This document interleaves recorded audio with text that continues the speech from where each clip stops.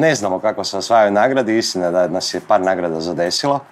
Ove, ove spomenute još tu ima nešto nagrada da ih sad ne nabrajam, ali mogu reći da ne znamo, zapravo ne znamo recept, pokušaš pa ako prođe, prođe, to je uglavnom tako. APP, Da. glavna forma. Da, da, da. C. Kako ide taj cijeli proces? Piše se po dva, tri mjeseca, tjedan dana, godina dana.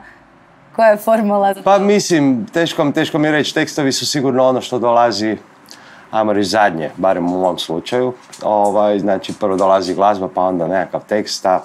Glazbu gledam kao nekakvu ekspresiju, tekst kao nekakvu intelektuali- intelektualizaciju, ajmo reći, toga svega. Znači potrebno je promišljenje, potrebno je ovaj, kombinatorika, izreći tu misao koju si htio reći.